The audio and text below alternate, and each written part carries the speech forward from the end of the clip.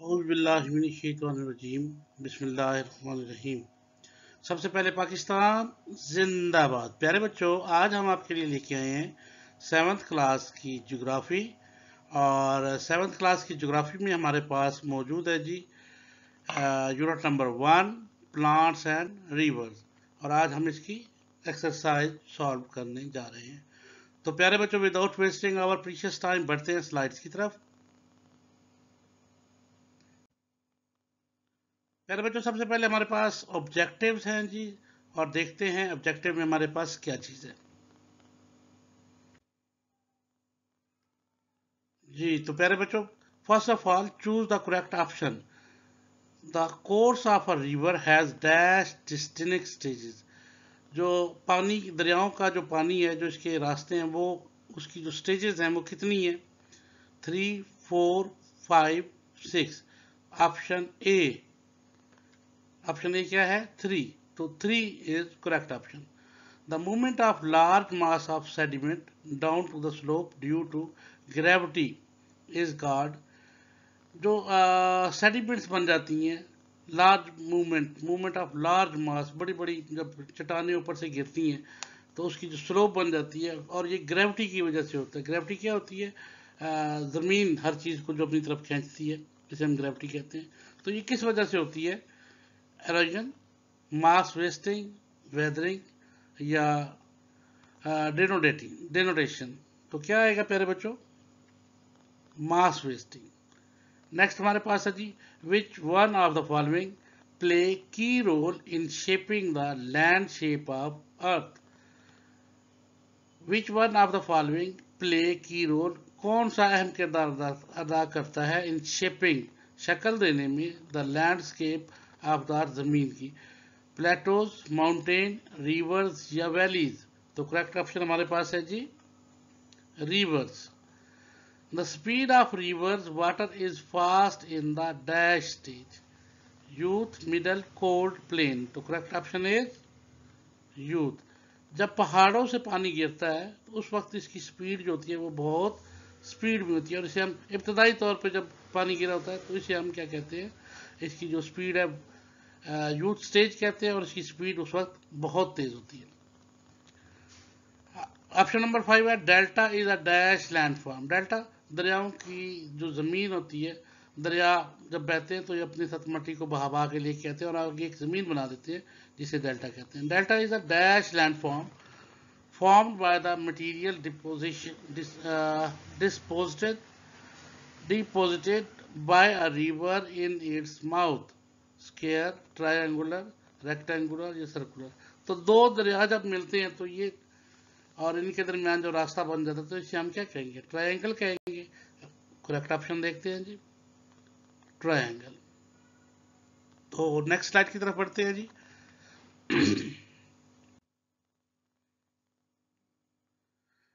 V-shaped valleys are formed in dash course of river, upper, middle, lower या middle and lower. तो correct option देखते हैं जी upper plunge pools are form by dash waterfall winds glaciers cyclones तो correct option क्या है इसका? Waterfall the river plunge down as a dash from overhanging hard rock waterfall tributary distributary या delta correct option is waterfall Loop-like bands formed by the river in mature stage is called meanders, braids, slip of slopes, cliffs. जी तो प्यारे बच्चों इसका correct option है meanders. A network of shallow river channel separated by small bar of sediment is meandering, river braiding, delta, oxbow. तो correct option is river braiding मेरे प्यारे बच्चों को समझ आ गई जी? आगे बढ़ते हैं। और आगे देखते हैं हमारे पास क्या चीज़ है जी? हमारे पास आ गया ब्रीफली क्वेश्चन यानी कि शॉर्ट क्वेश्चन जिन्हें पहला क्वेश्चन हमारे पास है प्यारे बच्चों brief answer to the following question what is river system what is river system दरियाओं का निज़ाम क्या है the river system a river system consist of catchment areas watershed, divide, tributaries, and distributaries तो दरियाओं का जो निज़ाम है, ये मिलकर बना होता है, जहाँ पर दरिया आके मिलते हैं, ये दरिया बनते जाते हैं, जहाँ पर बहुत ज़्यादा पानी हो, या जो कि डिवाइड किया गया हो ट्रिब्यूटरीज हों या डिस्ट्रीब्यूटरीज हों तो यहाँ पर जो नीचे वाला एरिया होता है, जहाँ पर पानी इकट्ठा हो जाता है, चाहे वो बारिशों का हो, चाहे वो समुद्री हो, चाहे वो दरियाओं का हो या नहरों का हो तो इसे हम क्या कहेंगे पहले बच्चों? रिवर सिस्टम आगे how are depositional plains form depositional plains क्या होते हैं? मैदान सहराई मैदान. These are found by the deposition of sediment on lowland brought by the river दरिया जो अपने साथ मट्टी बहा के लेके आते हैं, उससे जो एक प्लेन्स बन जाते हैं, सहरा बन जाते हैं, मैदान बन जाते हैं तो उसे हम क्या कहते हैं? Depositional plains rivers glaciers or on the wind चाहे वो हवा से मट्टी आ जाए, चाहे वो ग्लेशियर से आ जाए, चाहे वो दरिया लेकर आए तो इसे हम क्या कहते हैं? डिपोजिशनल प्लेन्स कहते हैं। प्यारे बच्चों को समझ आ गई। प्यारे बच्चों, अगर आपको समझ आ गई है तो चैनल को लाइक और सब्सक्राइब ज़रूर कीजिएगा। अगर आप मेरे बच्चे हैं और आपको मेरी ये कोशिश पसंद आती है तो प्यारे बच्चों ने मुझे लाइक और सब्सक्राइब और शेयर ज़रूर करना है।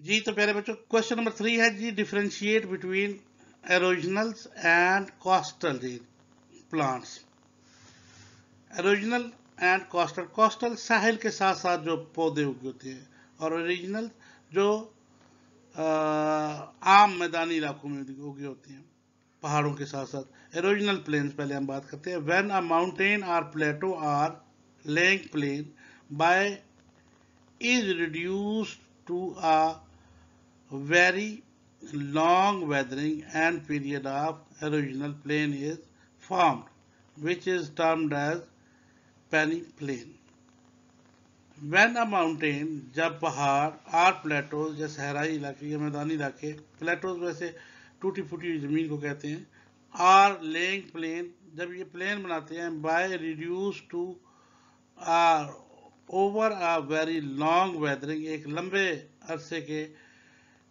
मौसम मौसम तक or period of original plain is formed तो यहाँ पर ओरिजिनल प्लेन्स बन जाते हैं। Which is termed as peneplain जिन्हें हम पैनी प्लेन्स कहते हैं। दूसरे नंबर पर कोस्टल प्लेन्स हैं। This plains are found when a part of sea floor boarding a continent was uplifted कि ज़मीन का जो हिस्सा है, वो ऊपर हो जाता है समंदर नीचे चला जाता है, या तो वो जो साथ साथ एरिया एक सहराई एरिया बन जाता है, उसे हम कोस्टल प्लेन्स कहते हैं। ओरिजिनल प्लेन्स और कोस्टल प्लेन्स का पता चल गया पहले बच्चों को। चलिए आगे बढ़ते हैं।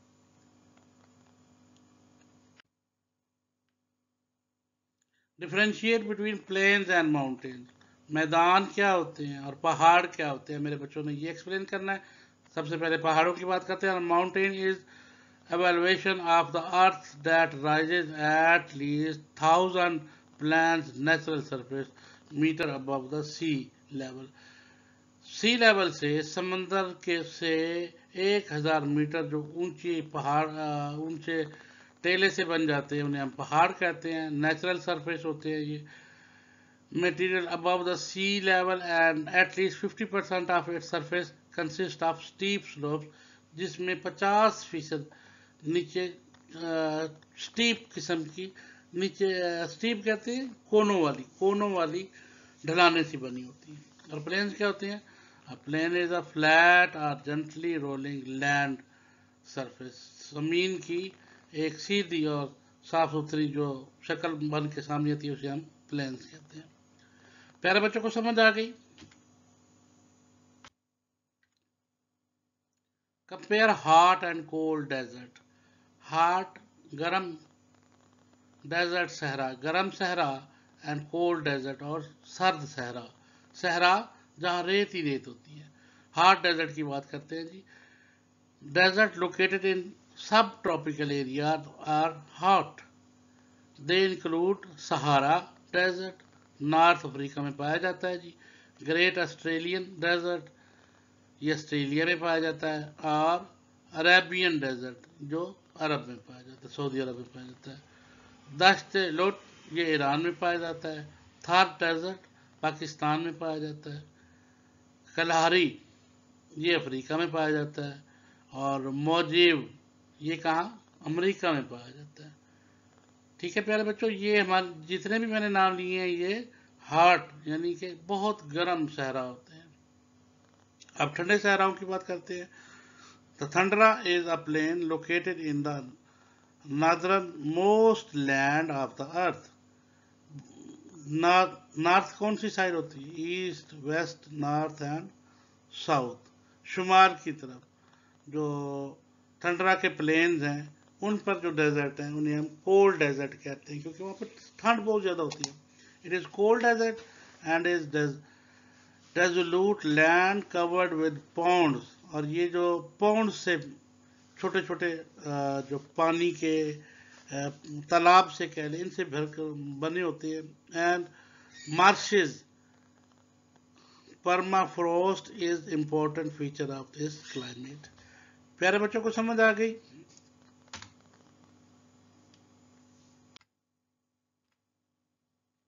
डिटेल क्वेश्चन है हमारे पास। चलिए जी, बढ़ते हैं डिटेल क्वेश्चन की तरफ़। What is the landform explain process responsible for the change in the landscape of the earth तो landform landform are the natural features that make up the earth's surface. These natural features have different profile and relief. Therefore, these exist a vast variety of landform. The major landform are the surface or the earth or plains plateaus and mountains. These landforms are widespread on the surface of the earth. जी तो प्यारे बच्चों समझ आ गई landform ज़मीन, जमीनी सतह आर द नेचुरल फीचर कुदरती फीचर्स होते हैं that make up the earth surface जो कि ज़मीन की तह को बनाते हैं। These natural features have different profile ये जो कुदरती फीचर्स हैं, इनके मुख्तलिफ़ प्रोफाइल्स होते हैं रिलीफ होते हैं। Therefore these exist in a variety of landform इसलिए ये कई किस्म की ज़मीन बना देते हैं। The major landform of the surface of the earth are plain जिसमें हमारे पास मैदान होते हैं प्लेटोज टूटी फूटी जो ज़मीन होती है माउंटेन और पहाड़ होते हैं। These land form are wide spread बहुत वसी फैले होते हैं on the surface of the earth ज़मीन की सतह पे। प्यारे बच्चों को समझ आ गई?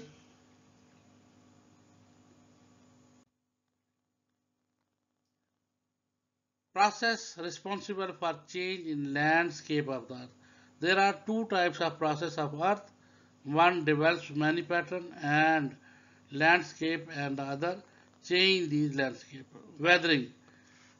It is the breaking down rocks on the surface of the earth by mechanical or chemical means. Mechanical से चाहे वो chemical change से मिलकर बनी थी जैसे weathering कहते हैं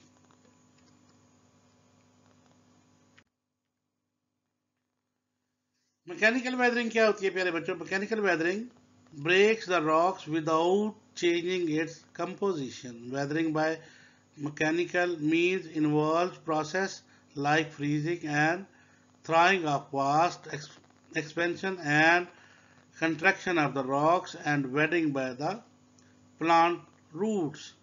Chemical weathering क्या होती है Chemical weathering occurs when Minerals of the rock react with water and gases of the earth atmosphere. It produces new weaker substances by changing the composition of minerals of the rocks. प्यारे बच्चों को समझ आ गई यहां तक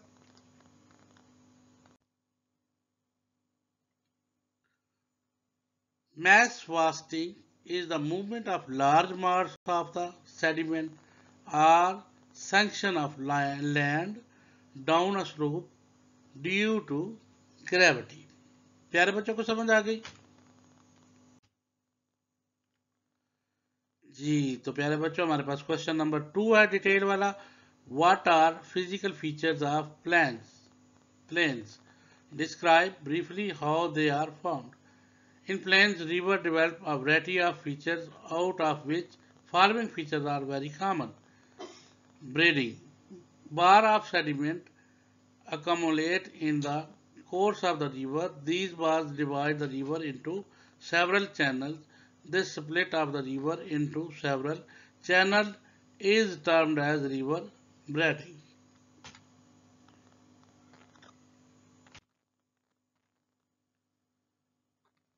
Meanders meanders क्या होते हैं जो पानी की तय के ऊपर वो बनती हैं, लहरें सी बड़ी बड़ी जो मौजें बन जाती हैं, जिन्हें मौज कहते हैं।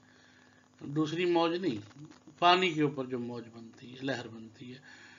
Meanders are loop like bend present on the plains meanders become more bigger because of sluggish flow of water जब पानी ऐसा ऐसा चलता है तो ये बड़ी लहरें बड़ी बड़ी बन जाती हैं।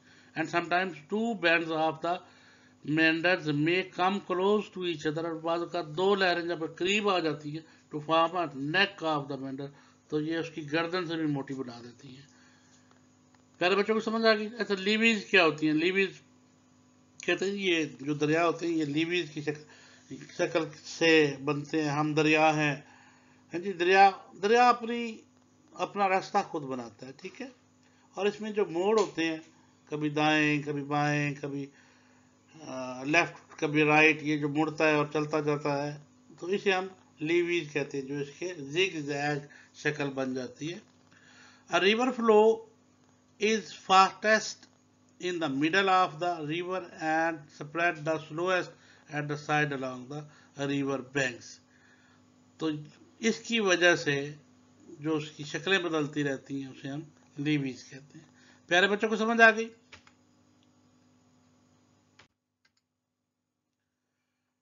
Explain the importance of river दरियाओं की अहमियत क्या है with the respect of biodiversity and economy खुराक में और मुल्क के पैसे के मामला में biodiversity is the term use to describe the range of different organism that live in an area or it refer to variety of plants यानी हम उनसे जो जानवर रहते हैं उनसे हम खुराक हासिल करते हैं मछलियाँ खाते हैं जी जानवर खाते हैं और शिकार करते हैं। और इसी तरह से जो दरख्त होते हैं, उनके हम फल खाते हैं। Variety of plants and animal species of an area river are also important in terms of economy इससे हम पैसा, जैसे दरख्त है, उनकी लकड़ी को बेच के हम पैसा लेते हैं, उससे फर्नीचर बनाते हैं, उससे घर बनाते हैं, उसकी लकड़ी जलाने के काम आती है। ठीक है प्यारे बच्चों?